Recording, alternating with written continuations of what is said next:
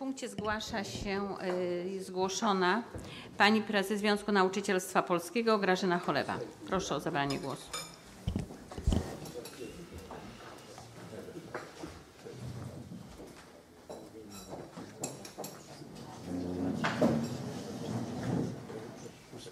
Ósemka. Się włączyć.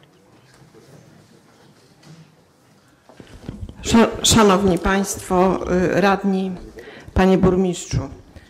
W związku z naszą ostatnią rozmową, kiedy to rozmawialiśmy na temat projektów organizacyjnych y, placówek gminy Kłobuck, y, powiedziałam, że zarząd zajmie się analizą, analizą tych projektów za, zatwierdzonych oczywiście przez Pana Burmistrza. No niestety znaleźliśmy tam dużo według nas błędów, dlatego też y, w imieniu zarządu oddziału chciałam tutaj przedstawić te uwagi i po prostu spełnić wolę y, członków, których jest kilk- kilkunastu w, w zarządzie i którzy domagają się między innymi przywrócenia zredukowanych godzin nauczycielom świetlic i bibliotek w szkołach podstawowych nr 1 i nr 2 z uwagi na wzrost liczby uczniów w tych placówkach, bo tylko w tych dwóch placówkach przybyło uczniów i to dość sporo.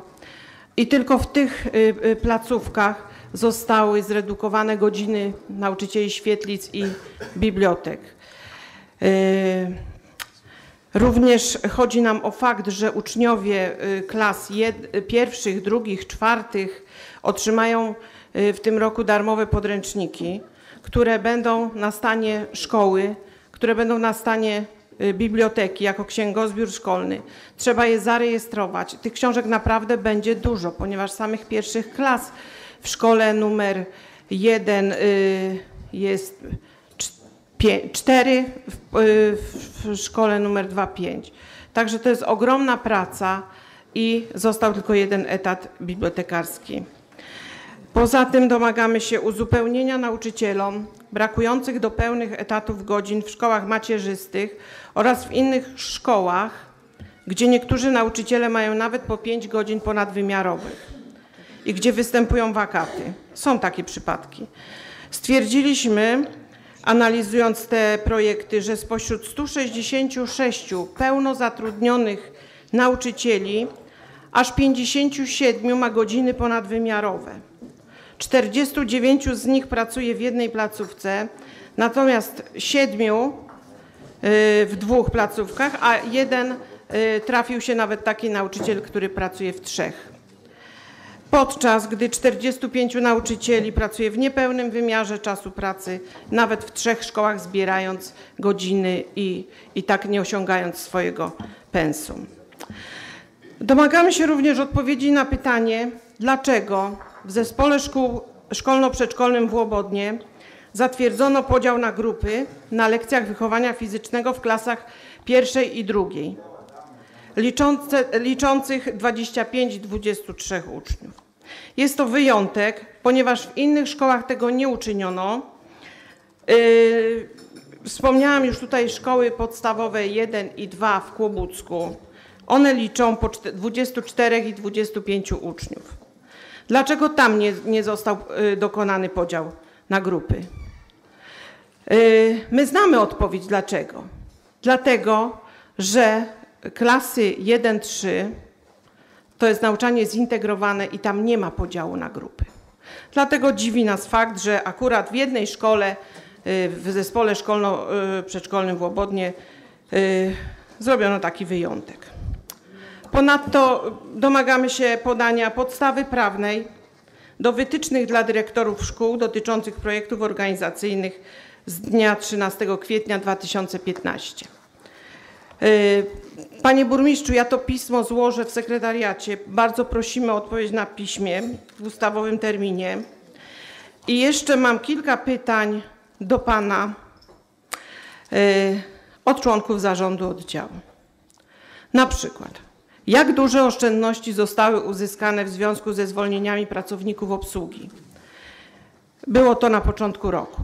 I jakich oszczędności spodziewa się Pan po zwolnieniu 10 nauczycieli? Jakie działania zostały podjęte, aby zapobiec wypłacaniu nauczycielom wysokich uśrednień w styczniu?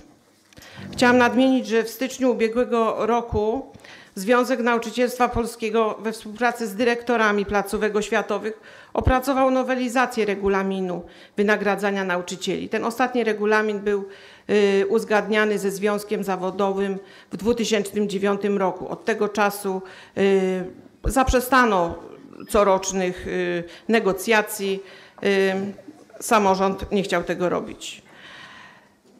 Prowadzone były rozmowy z poprzednim burmistrzem, panią skarbnik. Przedstawialiśmy też panu burmistrzowi obecnemu na zarządzie oddziału e, propozycje rozwiązań, ale do tej pory nie ma żadnego odzewu w tej sprawie. W naszej gminie uśrednienia są bardzo wysokie. I chciałam tutaj dodać, że nie wynikają one z pazerności nauczycieli, tylko z ustawowych przepisów i nieudolności organu prowadzącego w tym zakresie. Y, Kolejne pytanie, jakiego domagają się związkowcy, y, jakiej odpowiedzi na jakie domagają się związkowcy. Jaki jest zakres kompetencji i uprawnień dyrektora zespołu ekonomiczno-administracyjnej oświaty samorządowej w stosunku do, dyrektor, do dyrektorów szkół? W jaki sposób ma wspierać dyrektorów, pan dyrektor? Kolejne pytanie. Kto od nowego roku szkolnego będzie sprawował opiekę nad dziećmi w czasie przewozów, skoro dokonano redukcji w świetlicach szkolnych?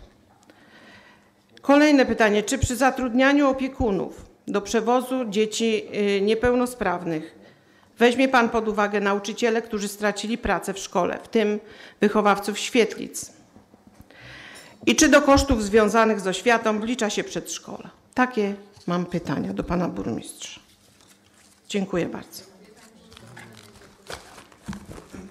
Dziękuję. Czy pan będzie odpowiadał, panie burmistrzu? Znaczy szczegółowo części, odpowiem części pani prezes y, na piśmie, ale w części mm, te pytania są kierowane pani prezes, pani doskonale wie, do dyrektorów szkół. Bo to oni zatrudniają y, nauczycieli, nie ja. I pani o tym doskonale wie. I z panią nie konsultowano zatrudnień, tylko teraz konsultują z panią zwolnienia, więc to jest trochę dziwne. No. Powinni z panią również zatrudnienia konsultować. Pani mówi o nadgodzinach, o godzinach ponadwymiarowych. A kto robi siatkę godzin i kto y, tworzył aneksy do tej pory i kto zawierał umowy z nimi takie, że nie można ich dzisiaj rozwiązać? Jeżeli chcemy dyskutować o oświacie, to braknie tego dnia i, i tego tygodnia. I pani o tym doskonale wie. I rozmawialiśmy na ten temat wielokrotnie. Dzisiaj, proszę państwa, musimy sobie zadać pytanie, czy dyrektorzy są menadżerami tych szkół, czy tylko są y, beneficjentami publicznych pieniędzy. A na resztę odpowiem pani na piśmie, pani prezes. Dziękuję bardzo.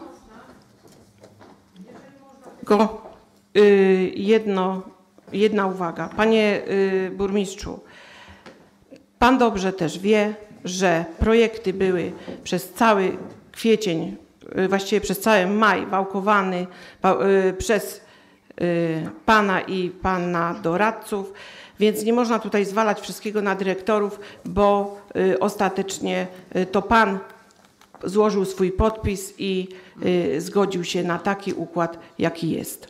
A jest naprawdę wiele nieprawidłowości i mamy nadzieję, że w sierpniu się to wszystko wyjaśni, jeżeli będą y, y, nowe aneksy. Także dziękuję serdecznie. Dziękuję bardzo. Proszę bardzo, pan burmistrz jeszcze.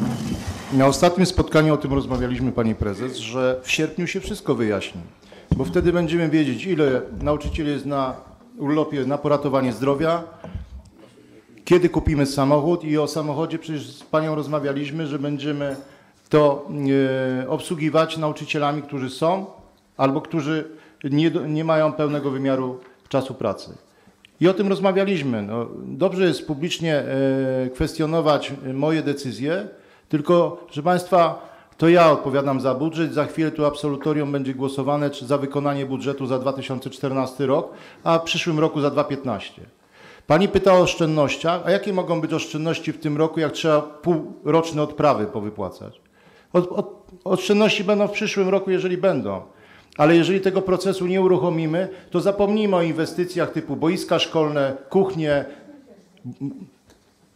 innego rodzaju rzeczy. Mm, Dzisiaj te budynki wszystkie praktycznie wymagają remontu. Niech mi pani odpowie i dyrektorzy tych szkół, powiedzą, skąd ja mam wziąć na to pieniądze. Edukacja na pewno nie ucierpi w Kłobucku i proszę być spokojnym, a biblioteki będą funkcjonowały tak jak do tej pory. Tylko w takich godzinach, które są przystępne dla uczniów, a nie tylko, żeby y, po prostu były otwarte. Dziękuję. Dziękuję bardzo.